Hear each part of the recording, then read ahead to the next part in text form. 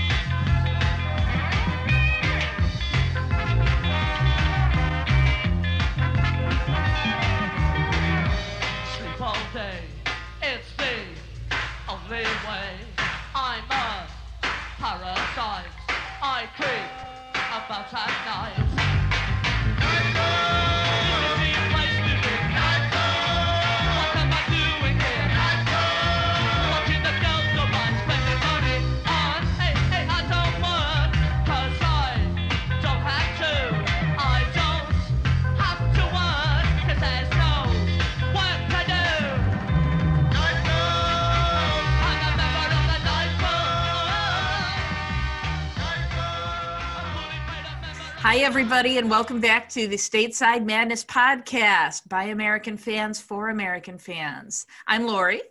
And I am Poly. And uh, so we're going to be talking about Dance Craze today, Lori. It's a, a concert film, right, with a, a number of two tone artists. And it was released in the UK on February 19th, 1981 that's part of the reason why we decided to time the episode the way we have. And it was released in the United States on April 23rd, 1982, so the following year.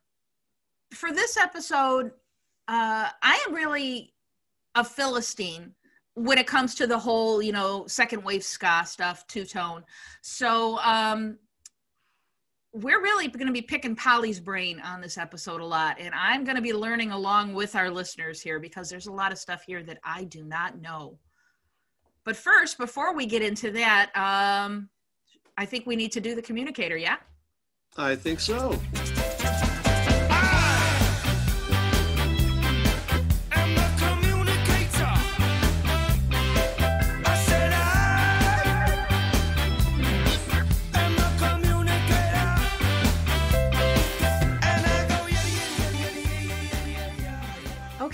So we have two bits of news for our listeners today. The first one is the Punk Rock Bowling and Music Festival. So Madness were scheduled to appear. This was on uh, Memorial Day weekend in Las Vegas. They were originally scheduled to appear last year. It was postponed because of COVID. Well, they've postponed it again. They've postponed the festival until fall of 2021. And the festival management says they're going to make an announcement regarding the festival lineup on February 16th.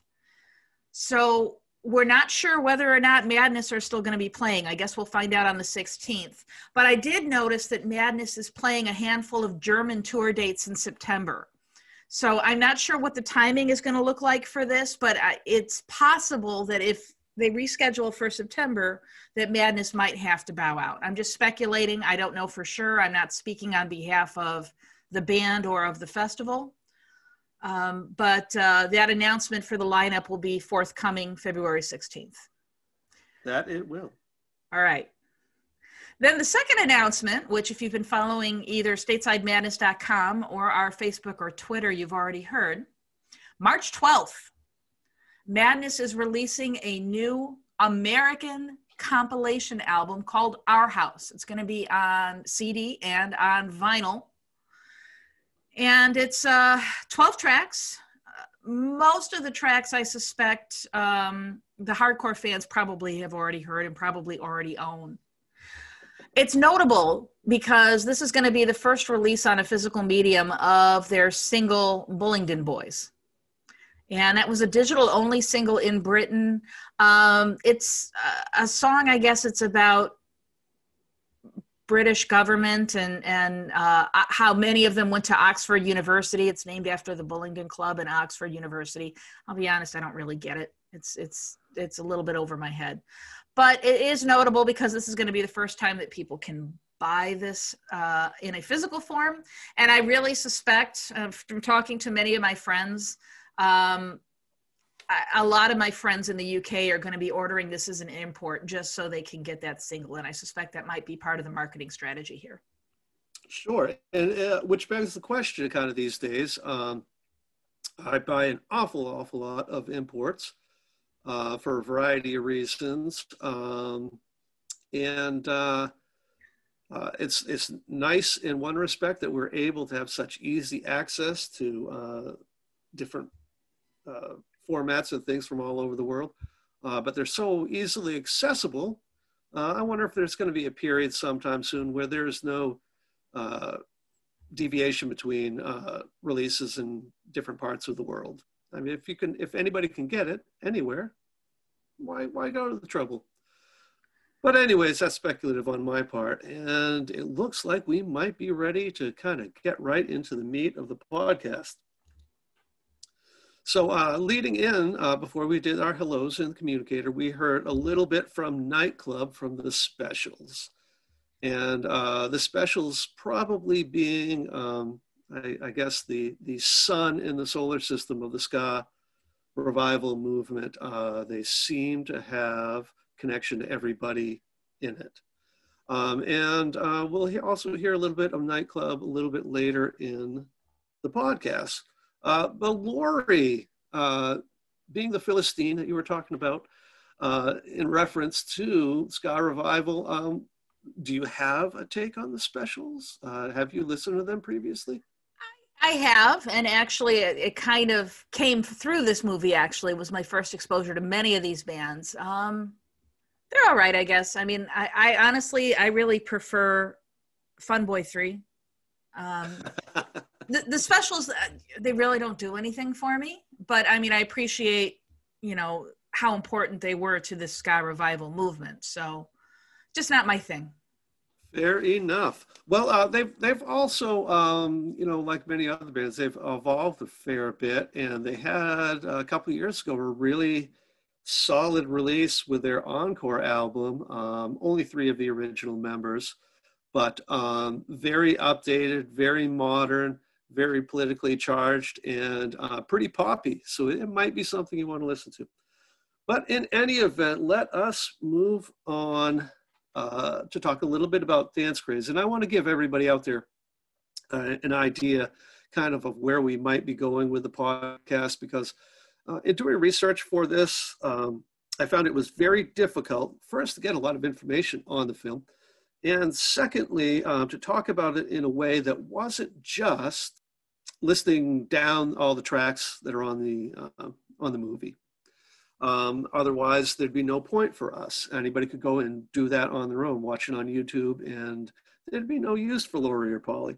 So uh, I've had to do a little bit in the way of, um, you know, do, dig a little bit deeper. And, um, you know, we're going to talk a little bit about each band. We're going to play at least a couple of songs that are representative um, from each of the bands. And we're going to talk a little bit about, I guess, what the whole purpose for the movie is, which is chronicling a movement. Um, so expect that as we kind of go through what we're doing here today. So, um, like Lori said, the film uh, was released in 1981, 1982 here in the US. It was directed by Joe Massot, and he, he kind of dabbled a little bit early on in his career in music uh, documentary um, uh, films. And he was the initial director on Led Zeppelin's The Song Remains the Same. Uh, I think he got canned from that, though. He never ended up finishing it. Um, so it was taken on by a different director. And uh, as the story goes, as many Madness fans will know, um, the original uh, kernel of an idea for the movie was to uh, do a film about Madness, who um, Joe Massot had met when they had done uh, their very brief uh, United States tour uh, a couple years previously. And um, so he, he, he was keen on exposing madness, but then I guess took a turn um, and decided that chronicling the entire movement would probably be uh, make for a better film. And so that's how we came to get Dance Craze. All right, so after that first song by the Specials, we have a classic by Madness, The Prince. Your idol, Buster, he sold the heat.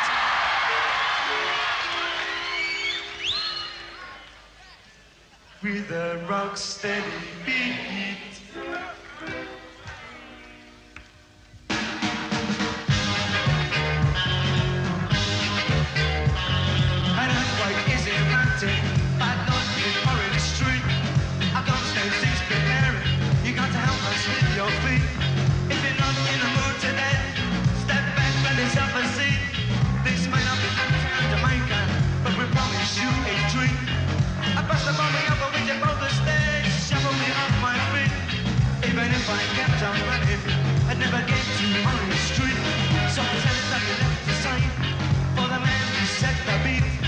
All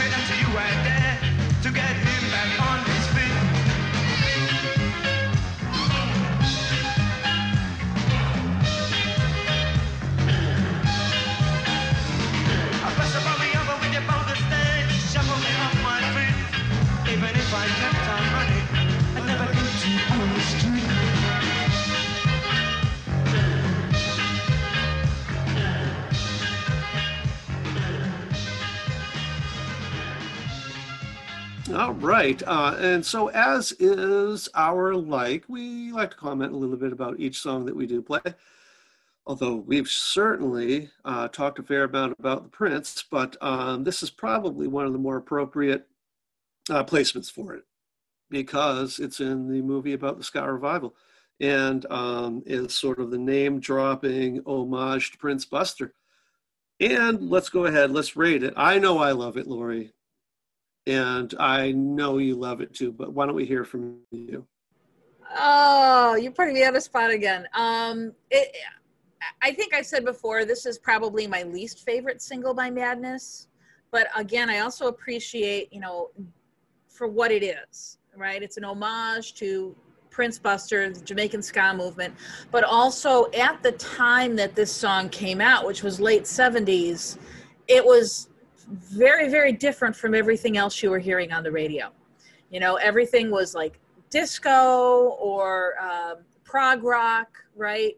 And this was something that I imagine would have to have been a breath of fresh air for listeners on the radio.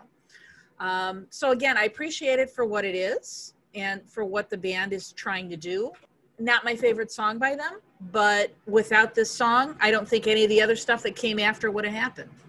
And you're not wrong in that. Um, I would um, point out, kind of, I think, bragging a little bit on behalf of our favorite band, but um, I, I, rewatched the movie this morning, and uh, there is a noticeable, noticeable difference in the amount of energy and crowd response when Madness are playing their songs.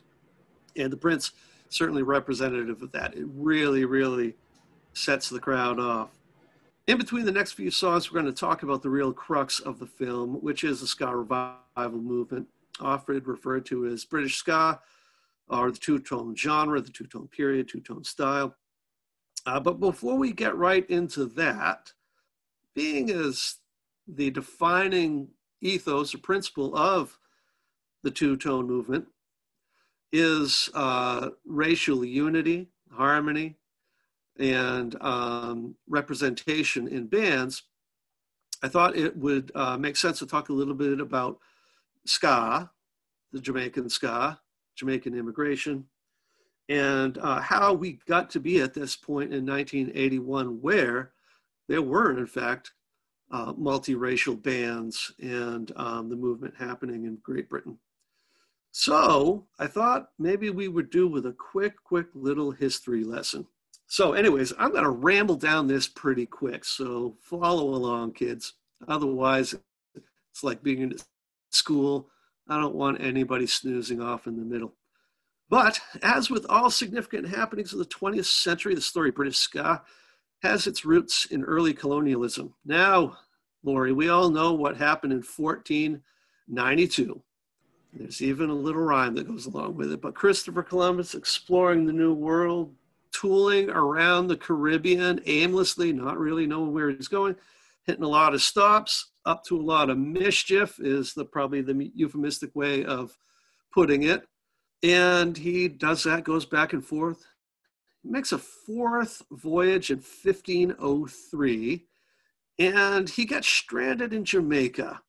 He's there up to his usual shtick, and he is um, looking for help from the indigenous people. He dispatches some of them by canoe to the island of Hispaniola to see if the governor there, um, also a charge of the Spanish Empire at that point, um, will offer a little bit of help. And Lori, as a proud Italian American and a progressive, I'm going to ask you a question Uh-oh. that might really tug um, at you emotionally. Uh-oh. You're going to be conflicted.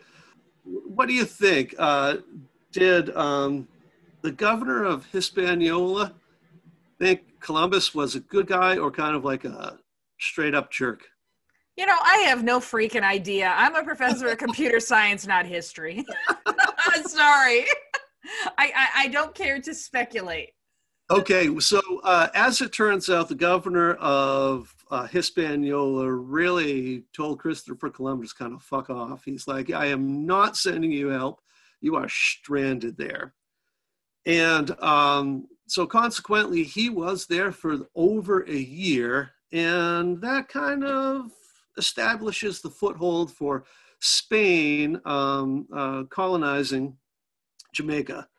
And, um, you know, the normal things happen under Spanish rule there.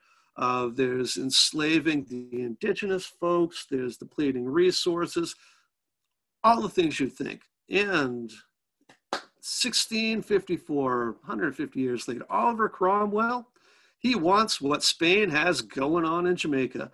Um, you know, some fighting ensues, takes a couple tries, but by 1655, Jamaica is a British colony.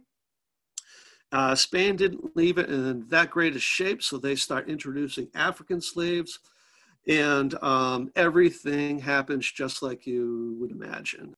So there you go, stir and simmer, and pretty soon we get to World War One where Great Britain has need of enlisted folks to fight in the war, and they recruit Jamaican men to fight for them.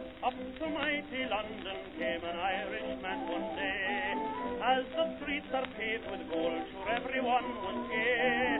Singing songs of Piccadilly, Strand and Leicester Square, till Paddy got excited, then he shouted to them there, oh, It's a long way to Tipperary, it's a long way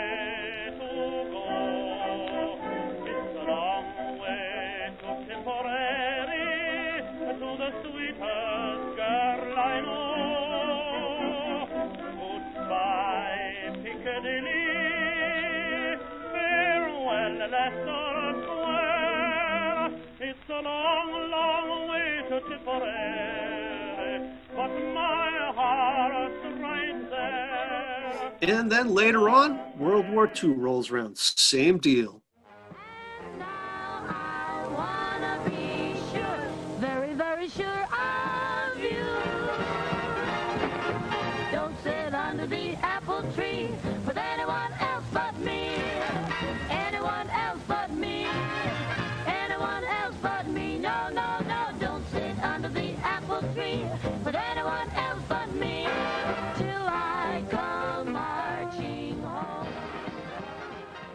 And that's kind of uh, you know the Jamaica, the real start of um, Jamaican folks getting a great deal much more exposure to English culture, American culture, I guess you could say there too, and um, you know then after that, uh, a lot of the ex uh, Jamaican GIs they go back to Jamaica, although there's already some people starting to immigrate from Jamaica to Great Britain and you know then that's really where that cross cross pollination of cultures starts to happen in jamaica people are getting transistor radios. They're starting to be able to hear radio from the United States, from Mexico, New Orleans, Texas, Florida. Um, they're starting to hear blues.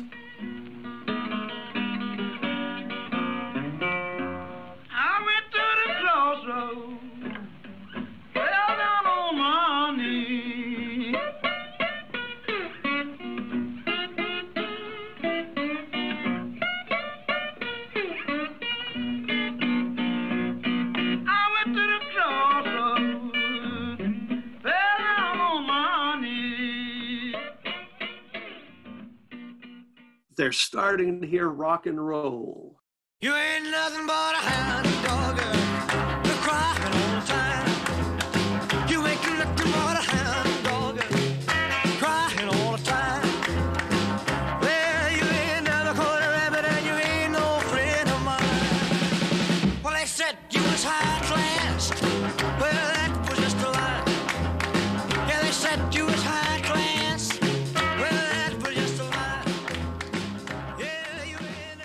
They're starting to hear soul and jazz. And then they get the idea. They mix in a little bit of Caribbean mento, a little bit of calypso. They have got their traveling sound systems, and boom, there we go. We've got ska. Now, I could go into a lot more about the foundation of ska, but I think the real thing we're trying to hit at here is the connection between uh, Jamaican and Brits and the movement that develops that causes the movie Dance Craze. So then we're going to jump forward to Thatcher era Britain. Uh, widespread poverty, unemployment, crime. Working class Brits are moving to the less desirable neighborhoods that are already occupied by many of the Jamaican folks. It's kind of like poor people mixing together. And there you go. Somebody's going to lend somebody else a record. It's probably a Prince Buster LP. Maybe it's Lord Tanamo. Maybe it's Lloyd and Glenn, the Valentines, Derrick Morgan, Justin Hinds. Maybe it's Jimmy. Maybe it's Lee. Maybe it's Ansel and Dave Collins. I like to say my uncles, but they're not my uncles. But I can dream. But then, bam, it lands with a thud on the offbeat.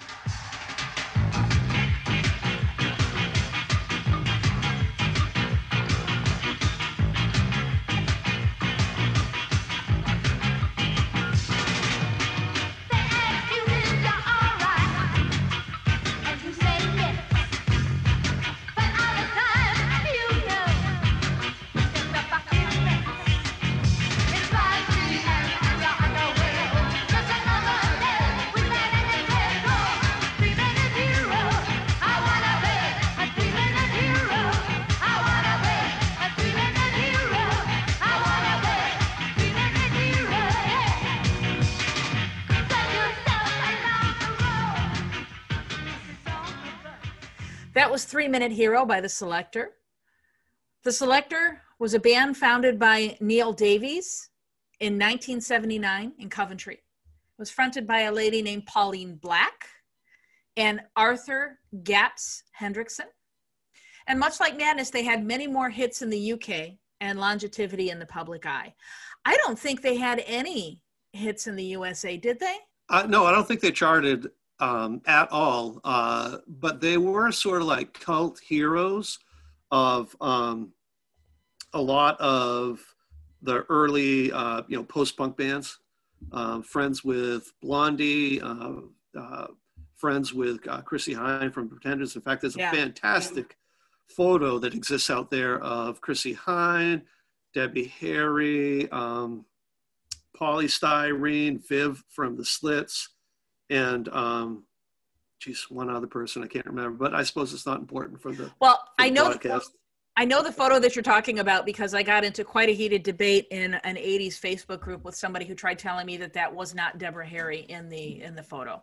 So, and I'm like, yes, it is. But um, but yeah. So you know, there is this kind of overlap, I think, between uh, the the two tone ska movement and the punk movement that's taking place at that time. And um, although I don't think the the feminism movement really kind of hit ska as much as it did with punk there really is this kind of you know female empowerment streak you know that, that's consistent to both. And we see this in uh, the Selecter and then we see this in another band that we're going to talk about later on today. So i really appreciate it for that. Um, a little disappointed that you know when, when i first heard the song title three minute hero uh, my mind went somewhere completely different. A little disappointed that that is not what this song is about because that would have absolutely been like that would have been hardcore. But uh, you know i really uh, greatly appreciate the fact that you know we have women that are in, in these you know roles in music not just you know being a pretty face or whatever but actually being very talented singers and musicians And, and, that uh, Pauline definitely is. Uh, she's been featured in a couple of uh, documentaries, interviews, things like that. And she's really one of the better spoken um, proponents of the whole ska movement. Very interesting uh, person, very articulate, fantastic to listen to. Okay, and then we would move on to ranking full stop. Let's give it a listen. You ready?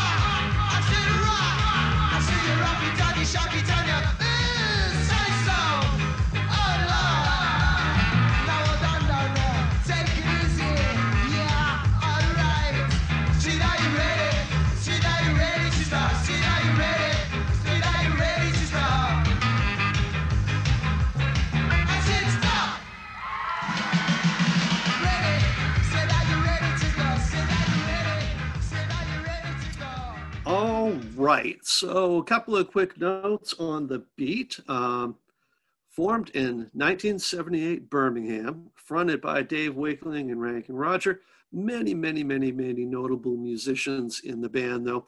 Um, but we're not going to have time to go over every single one. And uh, while they're definitely considered part of the two tone movement, uh, it happens to be that their only release for two tone was their cover of the Smokey Robinson and the Miracles Tears of a Clown, but nonetheless, very much associated, very, very important part of the movement. And I happen to love ranking full stop, and I happen to love seeing Dave Wakeling play it um, in his version of the English beat. Absolute showstopper. Love it every time. Lori, what are your, what are your thoughts on the song? Um, it's a decent song, actually. Um, so I saw the English Beat uh, live in 2013 in Skokie, Illinois.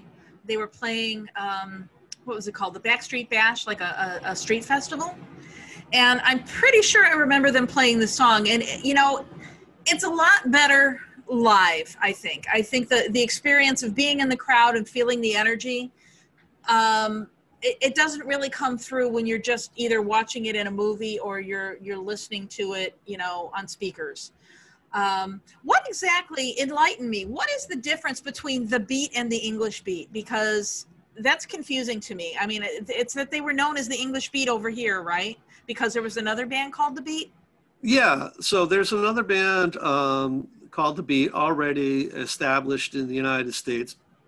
And um, I think with very little hesitation, um, if I remember the story, uh, they just said, oh, you know what? We're going to make this easy. We're going to call ourselves the English Beat over here and uh, the Beat in England.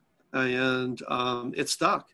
Um, you never know. Uh, it'd be lovely, lovely, lovely, lovely to talk with Dave Wakeling and ask him that question to hear it right from the man himself. But uh, that's for another podcast.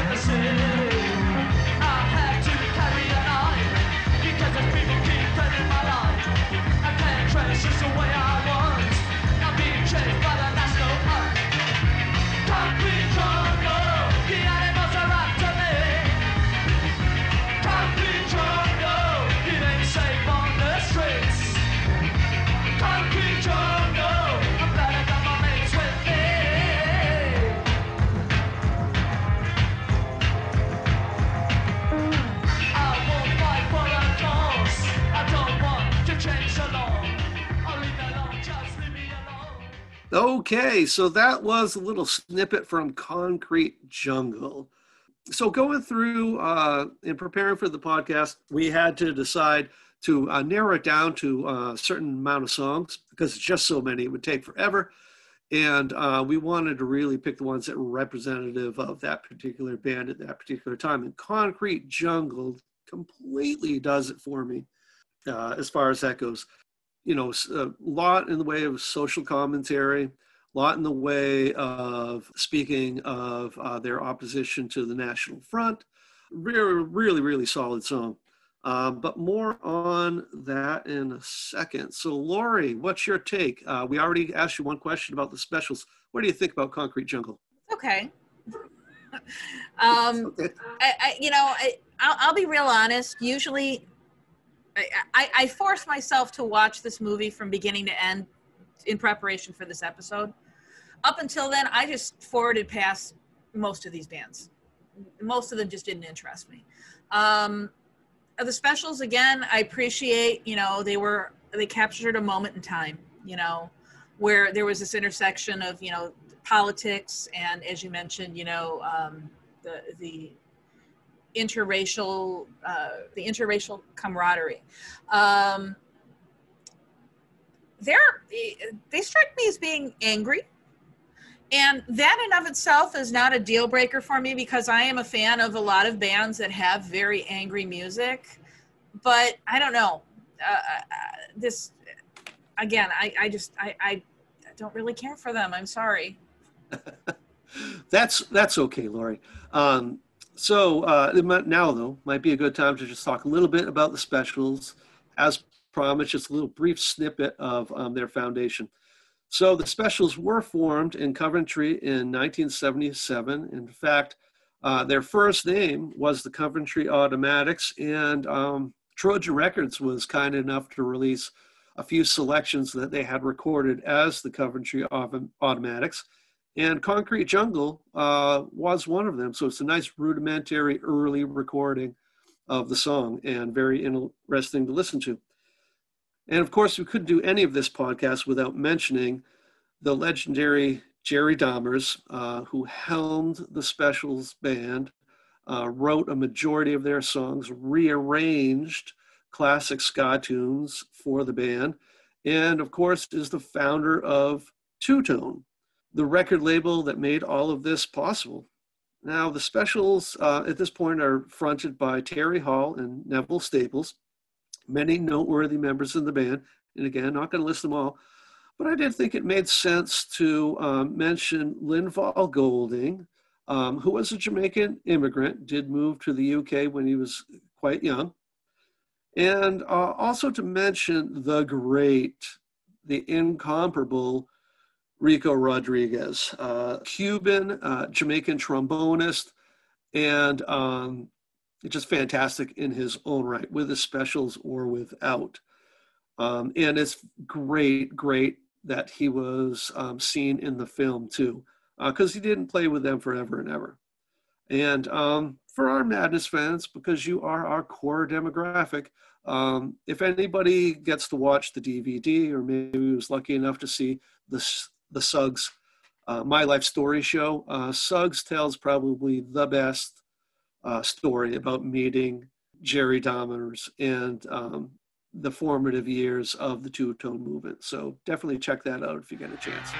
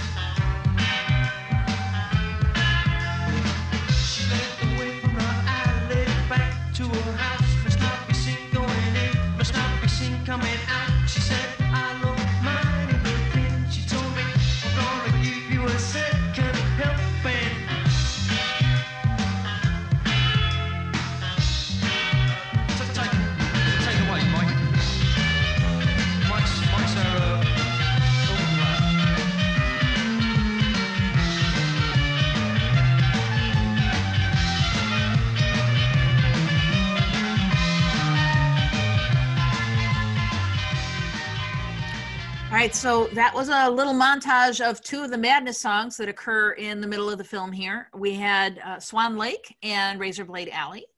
Not much left to say on those that we haven't said in previous episodes, but I wanted to listen to them and I wanted to play them because Madness, and this is a Madness podcast. As well, we should. And it didn't hurt, I suppose, Lori, that Lee was front and center singing on Razorblade Alley. I know that's not your, your thing at all, but we just had to do it. oh, well, you just wait because I'm going to get back, back at you on this next song. All right. So let's go ahead and hear the next song.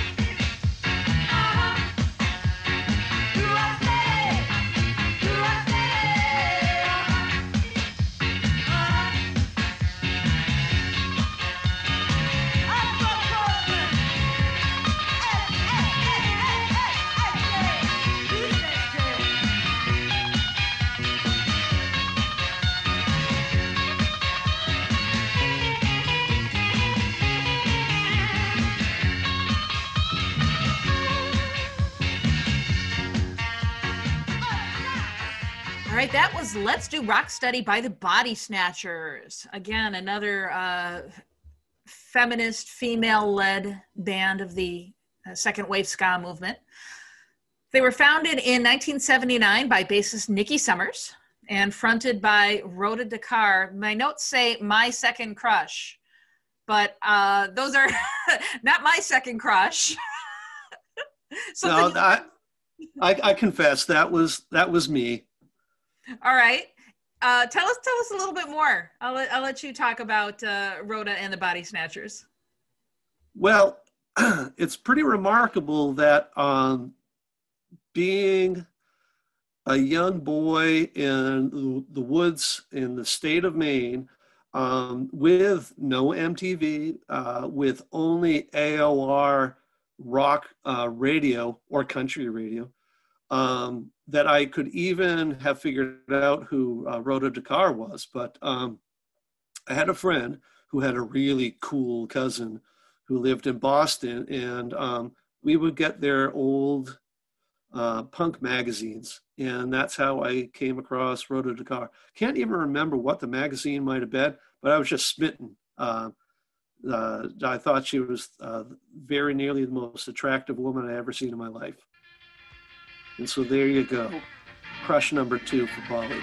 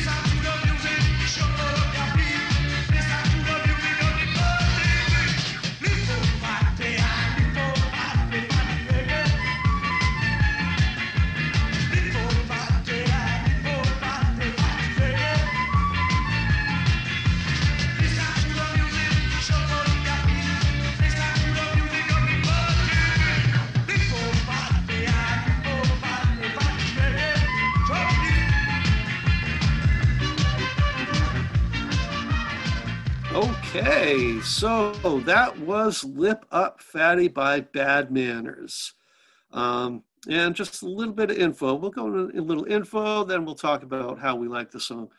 So, Bad Manners was formed in 1976 in North London, fronted by Buster Bloodvessel, aka Dougie Trendle. Not that I've ever heard this, or rather read this in print, but I've heard variations on it. But I really consider Bad Manners kind of edgy in their willingness to be kind of silly and out there. Um, and why I do is because you're it's so easy to label somebody a novelty act uh, when they take the sort of risks that Bad Manners did. And in fact, um, not that we're going to play it uh, today, but um, they did do a cover of Wooly Bully, and Wooly Bully did appear on Dance Craze. Good on them for trying something. I don't know that I'd ever need to hear that song again in my life, anybody's version. But, um, you know, they're just a different, a different band. Definitely had that two tone sort of appeal, definitely big heavy hitters, literally heavy hitters in the two tone movement. Um, but coincidentally, not uh, a two tone band. And because we're a madness related podcast, I just got to put out there that the B side to Lip Up Fatty was Night Bus to Dalston. I don't know if that's exactly a, a, a take on Night Boat to Cairo, but boy, there's a lot of similarity there. And a reasonably good song, too. And uh, just so uh, people are not that confused, uh, the term fatty, J- uh, Jamaican patois word meaning actually fatty, a, a, a fat person, and and not a joint. So nobody uh, nobody make that mistake. So Lori, I could go on about how I love this song, particularly the trumpet breaks in it. But let me get your take on it. Well, it's a fun song. Actually, uh, the first time I can think of that I heard it was maybe about 2003 or 2004. I was shopping in um, a, a- resale shop, a thrift shop, and uh, the the kids behind the counter put this on. And I was just like, what is this? I have never heard anything like this before. And I asked them, what are we listening to? And they said, oh, this is Bad Manners. And I was a little bit confused because I hadn't heard of them. And I was thinking Bad Brains, which is a completely different band, completely different sound, right? Um, I confess I don't own any of their music, uh, but I did buy a ticket in uh, 2015. They were supposed to be playing literally right around the corner from my house at a place called the Abbey Pub. Uh, however, it was canceled two weeks prior, and the rumor was it was because Buster Bloodvessel couldn't get a visa. So they had to cancel the tour. Now, I don't know what the deal was with that. A little disappointed. I think this is a band that I would have loved to see live. I can feel just the energy coming from the song, and I think that the crowd would have magnified that. You know what I mean? It is a fun song. I, I confess, I, I sing that. I have a, a, a cat that's a little bit fat that also has no hair on his lower lip. So I sing this to him from time to time. And so he thinks it's about him. And uh, Lori, I think your um, your speculation about whether you would enjoy this band live is is pretty well founded. Um, Bad Manners, I really feel, is a band that was somewhat inhibited by uh, the production value on a lot of their albums, uh, particularly um, when they got pretty heavy into uh, sound in a can sort of synthesizers.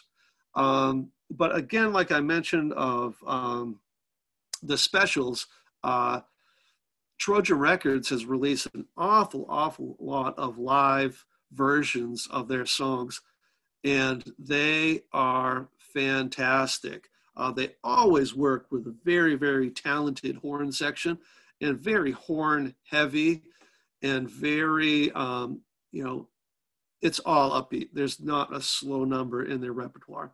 Um, so I think you would uh, find them absolutely enchanting if you were able to go see them. Yeah, this is one you should all know. 'Cause every band on Two Tone does this song.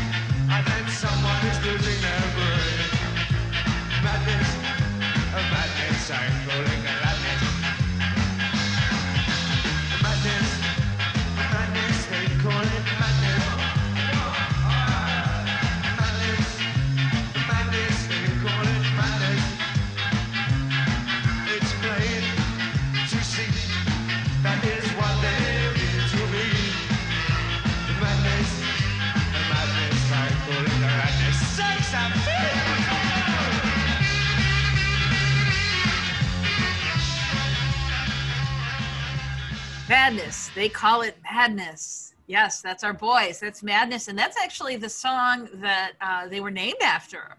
It's a cover of a Prince Buster song. I don't know what else I can say about that. It's, uh, you know, it's, it's, Okay. it's, a, it's a, well, it, you know, it's a vibe, right? I mean, I feel like you and I have talked about so many of these songs so many times that uh, the expression "beating a dead horse" comes to mind. Um, I can't wait bit, to yeah. Can't wait to see what we're gonna do when we get to Night Boat to Cairo. Yeah. but um, I mean, we'd be remiss in not playing it. And this one in particular, I think maybe is a little bit one of their lesser known ones, at least to American fans. Yeah, um, it's uh, yeah, it's it's one of their stronger songs. Um, started out, you know, strong, finishes strong. Uh, always a part of their set, as you would expect. And um, yeah, no, I mean, there's nothing to not really like about the song. Um, and like you said, yeah, we're just beating a dead horse because this has got to be like the fifth time I think we brought it up in podcast.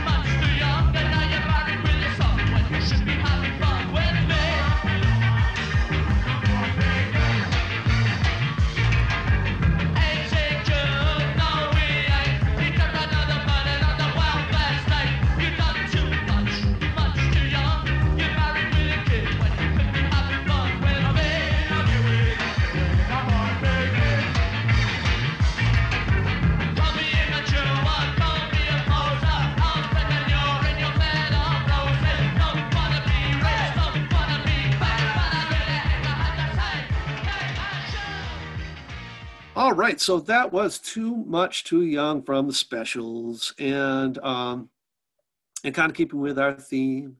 Uh, I want to talk about the time. I want to talk about the era. What a timely song that was. Um, you know, sort of a reflection on the welfare state in the UK. Um, while they don't um, implicitly name unemployment or poverty, that's kind of the subtext of it a little bit too and uh, I just find it a fantastic song. You know, definitely a staples of um, special show. One of their more um, noteworthy songs, one of their more famous songs, and um, I just think it's fantastic. Absolutely love it. And back to a little bit more about the movie. Um, I found online a little snippet from the New York Times dated the 25th of April 1982, just following the American release. Um, and the author in the article says this uh, The sloppy but cheerful dance craze, which opened Friday at the 8th Street Playhouse, is a concert film devoted to the musical hybrid known variously as ska or two tone or rock steady. The English bands featured here owe a lot to reggae. The best known British band rockers playing anything of this sort are the Police, who do not appear in Dance Craze, but have added a thing or two of their own. Now, before getting into the rest of the snippet from the article, I just want to say I don't even get why they put the police in there um, or what it would have to do. It certainly does not add to the article. And while the police did have elements of reggae, they're just, they're not part of the ska movement. Uh, so, anyways, bad on them. Um, Well, I kind of get it. you kind of get it. I kind of Oh, get are we- well. You know, the the first time I ever heard of the Beats was Sting was wearing a T-shirt that said the Beat in one of his concerts. I'd never heard of them before that, and um, oh, their their early stuff really is kind of tinged with this reggae-esque or or, or ska like you know vibe. I mean, they really evolved away from that. But no, I, I get it. And I think that that's maybe a reference that American audiences might actually understand. Whereas, you know, I, I, again, I don't remember ever hearing of any of these bands when I was, you know, a kid in the late 70s, early 80s, except for Madness. So, I mean, I think maybe that they're they're writing to, you know, their audience. I also think it's really strange. I know you're not done with your your quote yet with the the um, with the article, but even just the title dance craze you know I, I i don't even understand why they chose that title because you know the twist was a dance craze right the foxtrot in its time was a dance craze. I don't associate a particular dance with this um, music. Maybe i'm being pedantic. No, uh, I, I think they, well, it's kind of the haphazardness of the film that, uh, that adds to the sort of uh, ambiguity of it. Uh, you know, they, they start out with this very peculiar narration uh, talking about um, how workaday Joes uh, live for Friday and Saturday night so they can go out to clubs and the whole bit like that. Uh, but then they immediately, like, full stop, boom. There's no narration to the rest of the movie. Um, it's a very, uh, yeah, like I said, very kind of haphazard, kind of clunky Yeah. uh, introduction to the movie.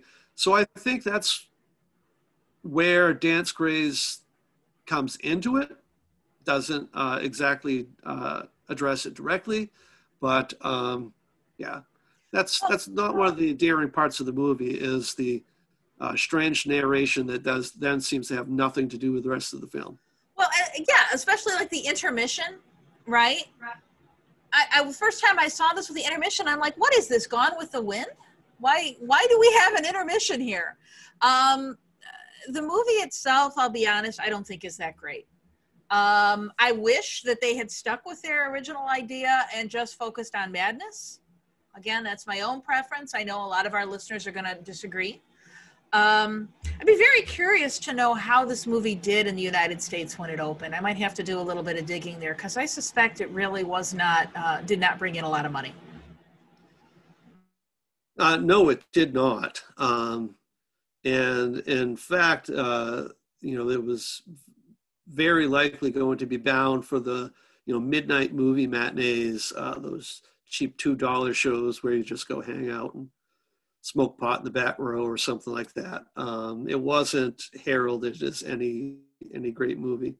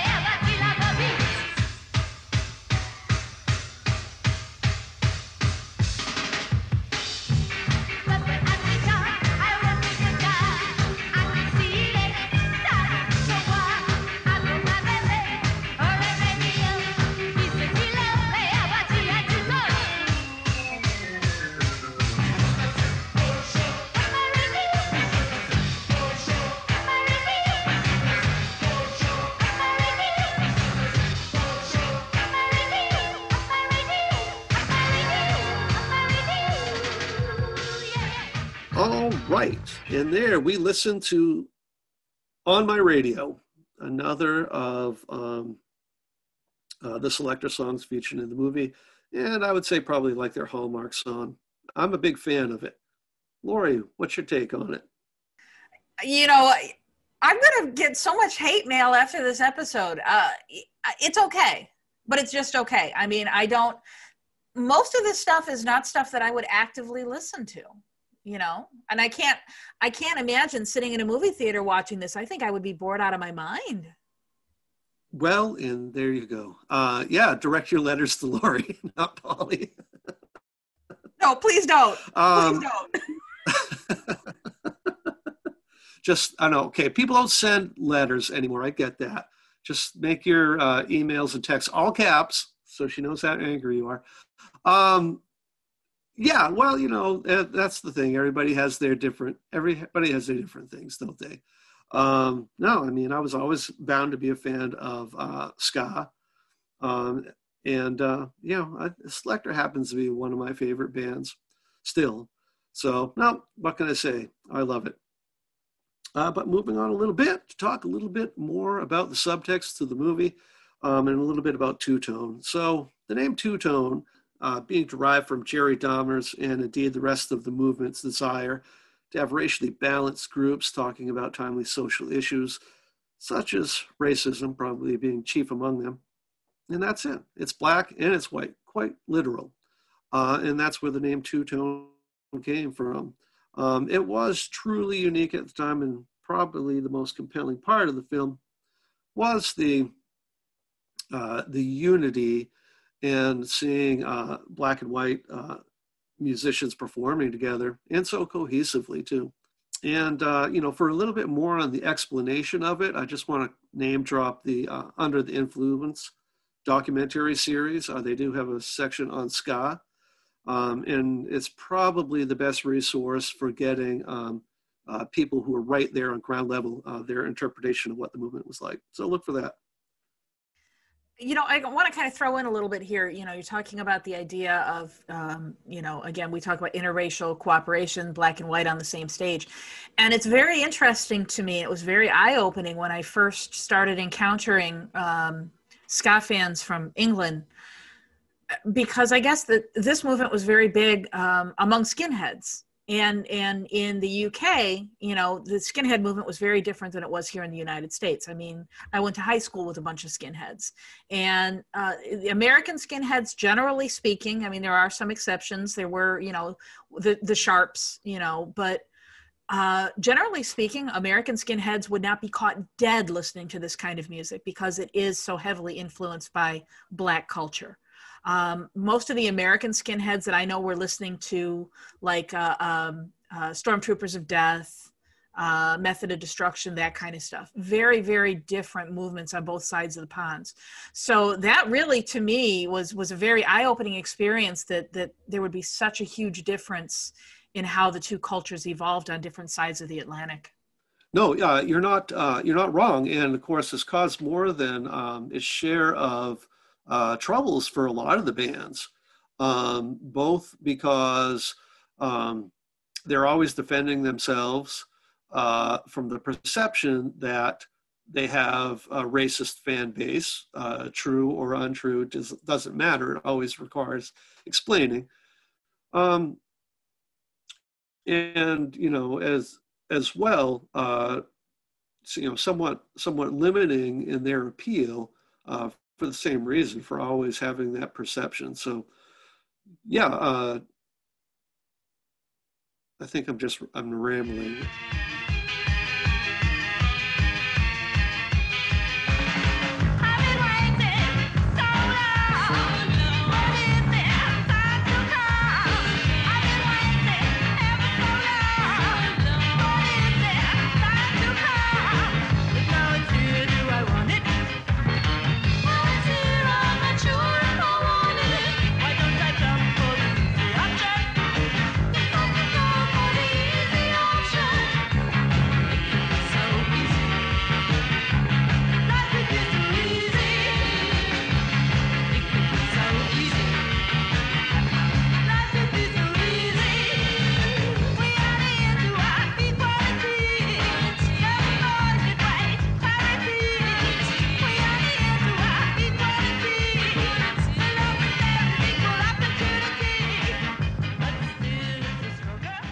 So that was Easy Life by the Bodysnatchers. Um, now, the Bodysnatchers broke up, you know, pretty shortly after um, uh, Dance Craze was released. Uh, in fact, they really only seemed to make it about two years as a band, which is kind of a shame. Um, I thought they were one of the highlights of the film. I really, really uh, took to the band.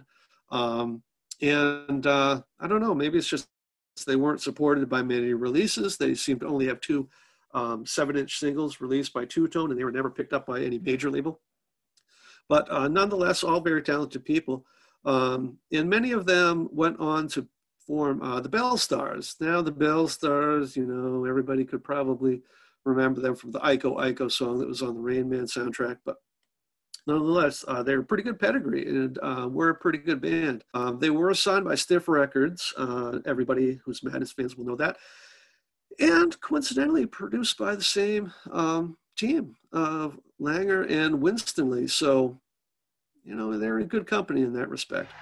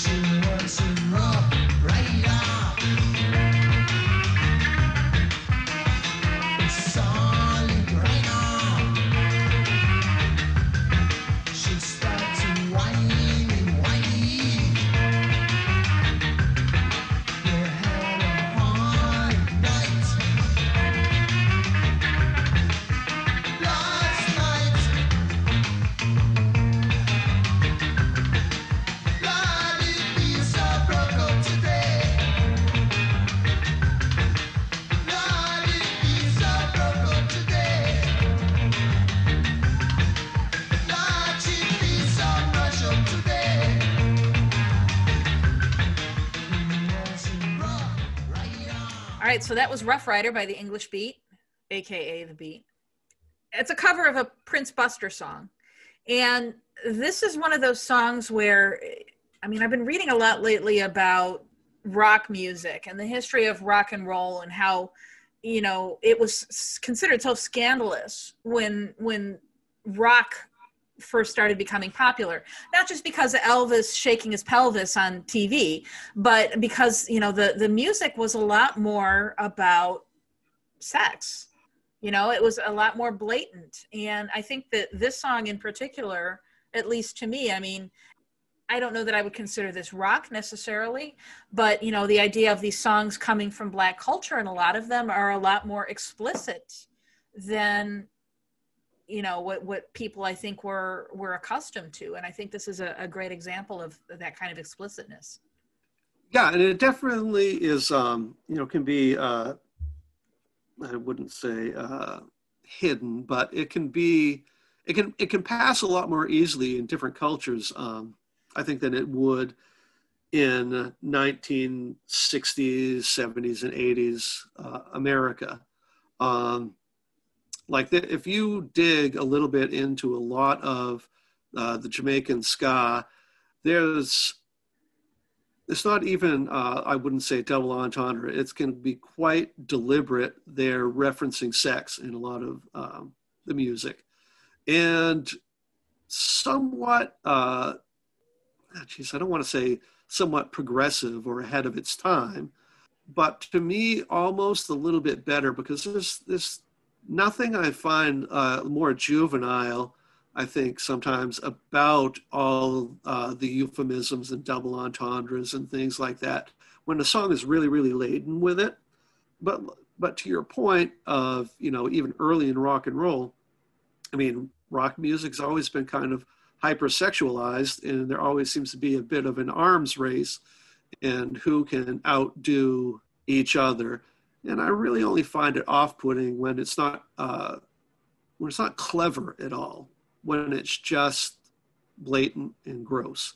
So, anyways, that's my that's my take. That's that's the poly pontification moment of the episode. ooh good alliteration there polypontification uh, yeah, but Rough Rider, uh, there's one charming thing I think about uh, the Rough Rider song, and that's when um, the uh, English Beat play it in concert. Um, that it's very common for Dave Wakeling to do a little bit of a uh, uh, introduction where it's uh, she was a rough rider, and it's a bit of that kind of like, uh huh, uh huh, you get it, you get it, right? Uh huh, you know, he's very definitely very jokey about it, um, and it is somewhat endearing. you know i'm just speculating out loud i have no idea if there's a connection or not but i wonder if eve the the rapper who you know had the group called the rough riders i wonder if she was inspired at all by by either this version or the prince buster version just speculating I don't know. That would be interesting, and I'm always a fan of finding out that somebody who, um, uh, someone like Eve, uh, who comes from the hip hop world, someone who you would find yourself quite removed from potentially, uh, has a common interest. So I would absolutely be in love um, with the idea if that's where she got her inspiration from. It, I would, I would be very charmed by that.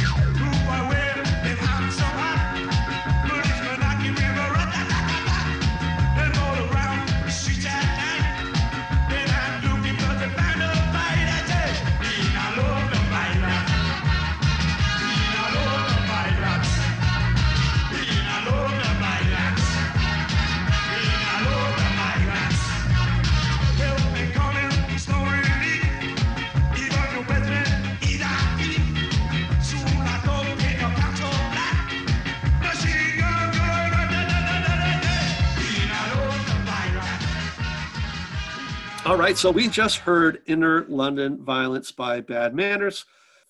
hallmark song of theirs, fantastic. I absolutely adore it. Um, little hard to understand. Uh, not a lot in the way of alliteration going on there. Um, and it's more uh, the Buster Bloodvessel style of just grunting it out there, which I happen to say I'm a pretty big fan of. Uh, Lori, what's your thoughts?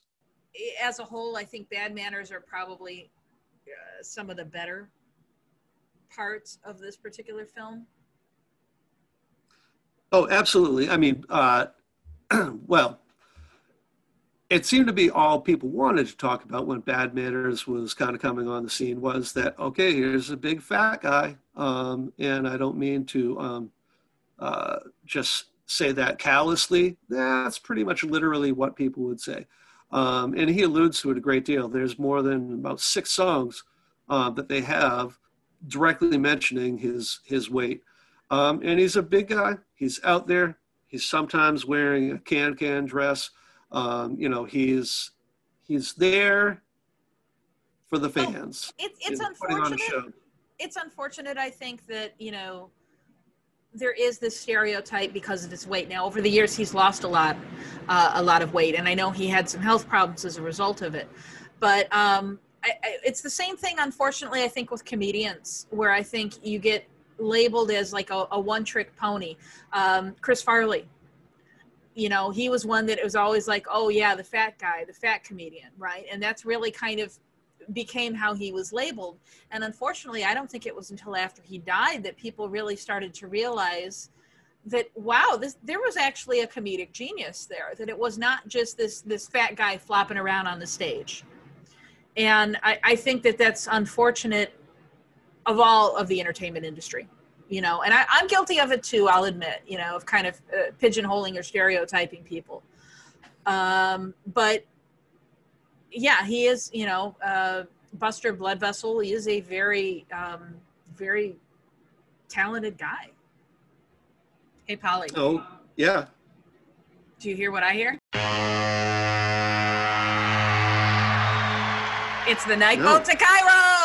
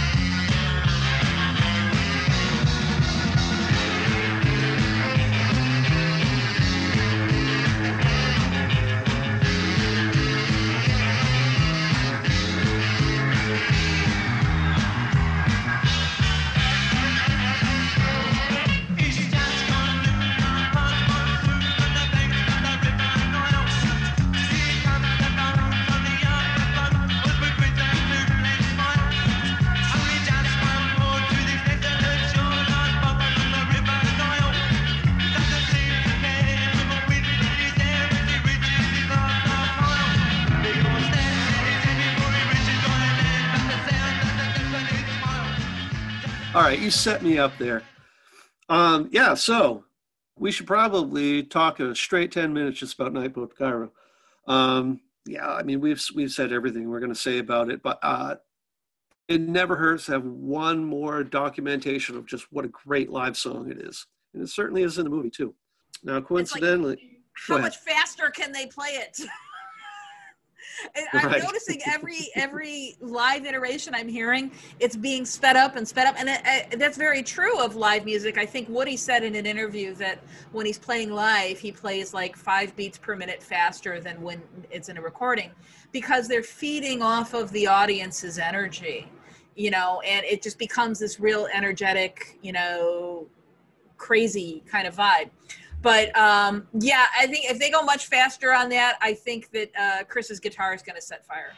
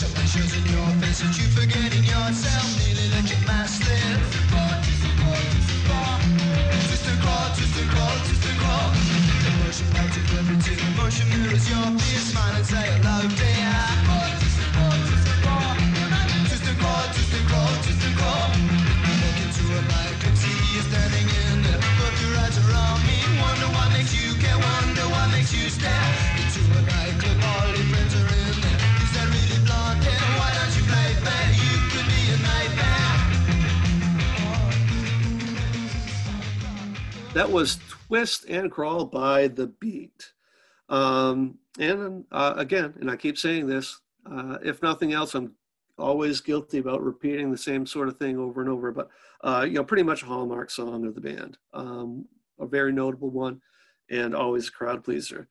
Um, now, of course, about the time of the film's release, uh, the Beat were, say, on the outs. Um, as the stories told, Dave Wakeling uh, and Ranking Roger always felt like, yeah, bands only get a couple of good albums in them, and let's not persist with uh, beating a dead horse. So, about the time of the film, the Beat were about to record a special Beat service, which would be their final uh, album with the core um, classic uh, lineup. Too much pressure.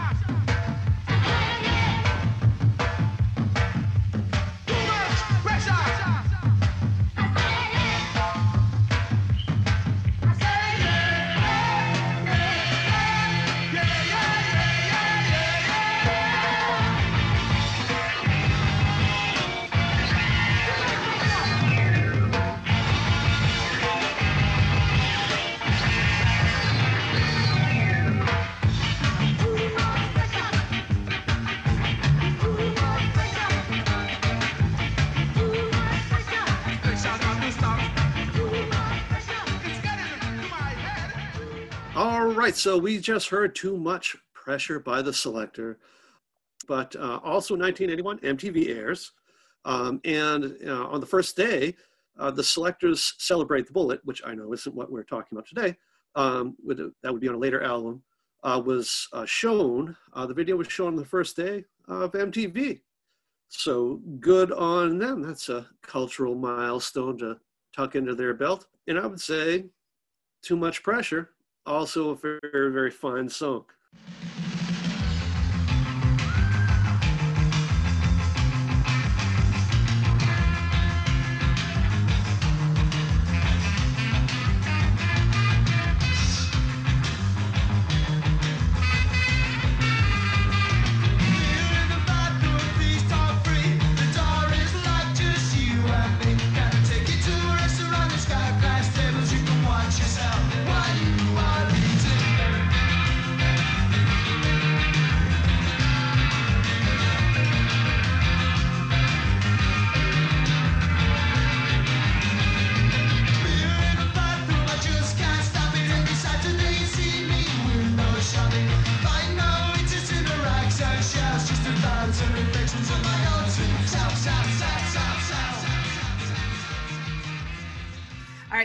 The early days of MTV, I remember this one from MTV Mirror in the Bathroom. Um, this to me is probably the first song that comes to mind when somebody mentions the English beat. It's probably one of their best known songs. So, um, what can you tell me about Saxa in this song? Sure. So uh, Saxa played with um, the English Beat uh, early on. I, I'd have to look to be sure, but I think on the first two albums, I don't know if he was there for special beat service, but um, Saxa played on many, many, many uh, seminal uh, ska recordings. Uh, he played with Laurel Aitken. Uh, he played with Prince Buster. He played with Desmond Dekker. And um, I don't know if I've ever heard it explained how he got connected with the beat. But of course, he had moved to uh, England by then, uh, no surprise. But he started playing with the beat. And that to me is no disrespect to Dave Wakeling and the crew, but that's not dissimilar from a high school basketball team recruiting Dr. J. I just don't even know how something like that comes around. But um, to their credit, they're solid, solid songwriters. And uh, to Sax's credit, he fit right in really, really well. Um, and uh, to speak of the inclusivity of the two-tone movement, it's fantastic that um, not only is it there uh, black and white musicians playing together, but by that time, Sax was uh, a lot older than any of the other people represented in, in the Beat or any of the other bands. So it was great to see that um, uh, kids also embraced him. So, so good on him, and I, I miss him very much. He, sadly, I think he left us in, in 2017. uh, Maybe it was, maybe it was earlier. I don't know. One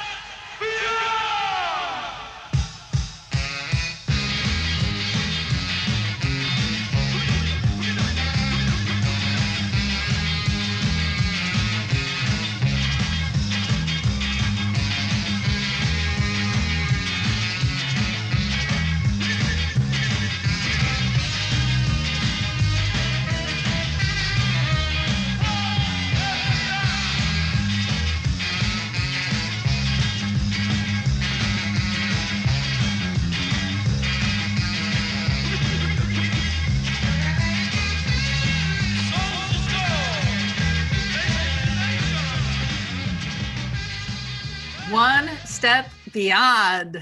Again, I don't know what else we could possibly say about this song that we haven't said already, but again, it's such a staple of their live shows even today. And it really exemplifies the kind of live energy that Madness have always had. That it does, and um, you know, a, a credit to, to Madness uh, when they do perform live. Um, they do, uh, you know, they do the fan involvement stuff like anybody does. But I find it really off-putting when I'm at a concert and find that any band has to really be their own hype person when they've got to talk endlessly about that big song that they're going to play next and on and on and on. Madness escapes all of that. They don't have to hype themselves, they just have to put it out there. Um, and that's what works so brilliantly about their live performances. You don't gotta work hard to get the kiddies into liking One Step Beyond. It's just gonna happen. So that brings us almost to the end of the film. Not quite, but we're pretty close. So the interesting thing to me about this film is um, it, it never was released on DVD. Right? It was only released on VHS. In speaking with, a, I have a friend over in Scotland who has been trying for years to find out who actually owns the rights to the film because he wanted to purchase it and he actually wanted to release it himself on DVD. And from what I understand, it's been a lot of back and forth between the film studio, the record label, the director. Nobody seems to know who actually owns the rights to the film Dance Craze. Isn't that insane? It, it is. Um, you know, the closest I've gotten to that, um, figuring any of that out, is uh, hardly really detective work. But you know, Chrysalis Records still owns the rights to the soundtrack, so that would lead me to think that they have some ownership of the the film. But that's speculative on my part. I have no idea. But you're right. It's it is. It's an absolute crying shame. Um, in an era when you can watch the worst television or the worst movies at the click of a couple of buttons, and everything gets released on DVD with the most mundane of special features. Why exactly you can't get this movie is beyond me. And actually see it remastered and updated a little bit would be a fantastic thing because there's a there's a lot lacking Yeah. in uh, the original format. Yeah, Well, but it is it is on YouTube. So i Mhm. any of our listeners who'd like to either watch for the first time or maybe just kind of refresh your memory, Dance Craze on YouTube, the, the full film is there. Um, Poly, what do you think as far as uh, what is the ultimate cultural significance of this film? Do you think? So I think that Dance Craze endures as you know a seminal moment in the ska revival movement. You know, if it does one thing right, it captures the frenetic energy, uh, the sound, uh, the unity, and the brotherhood between band members, like both in the bands and with the other bands, and you know, it really shows the unity between uh, the bands and the audience too. you know, I think that's probably the most important part of both the, the ska revival movement and the movie. Uh, you know, despite its obvious flaws, I do find Dance Craze to be pretty charming and humble in its, in its approach of just showing the good stuff. If you watch a lot of rock documentaries, which I do, there's an awful lot of pre-planned backstage antics. There's contrived drama and things that they try to inject into uh, live performance films and things like that. And it doesn't have to happen in Dance Craze, and they didn't do it. So I'm very thankful for that. But I would say that there is, you know, still remains a little bit of controversy both about the not having it released on DVD, not a proper version of it put out there, but even the soundtrack. So uh, there's uh, a couple of different versions of the soundtrack in the the, the second one was released without the Madness tracks, and uh, I don't know whether that was record labels, uh, turf war sort of stuff, but um, If I remember correctly, they did a, a, a release with the Madness songs, and they immediately recalled it. Uh, because yeah, there was some question as to I, I guess because of Madness's uh, contract with their record label, and this would have been in violation of that.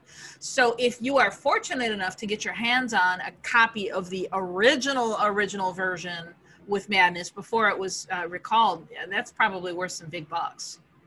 Yeah, I'm sure it is. And uh, yeah, they ended up replacing it with the specials, AKA some live recordings of, of them, which is perplexing to me. It was not only isn't uh, the specials, AKA not exactly the specials band, um, although I'm a big fan of it. It's a different era, different art incarnation, and it wasn't featured in the film, so I, I kind of don't get the point of it.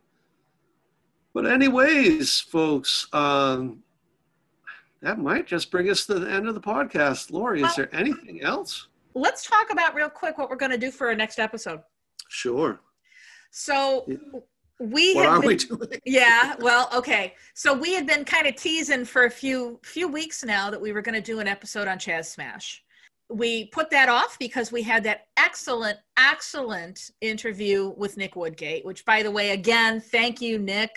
Uh, the feedback that we've gotten from that episode has been so so good so positive. Everybody really enjoyed listening to nick. Um, and then this episode so i'm thinking that the next episode poly is going to be our Cathal Smith uh, slash Chaz Smash episode. What do you think?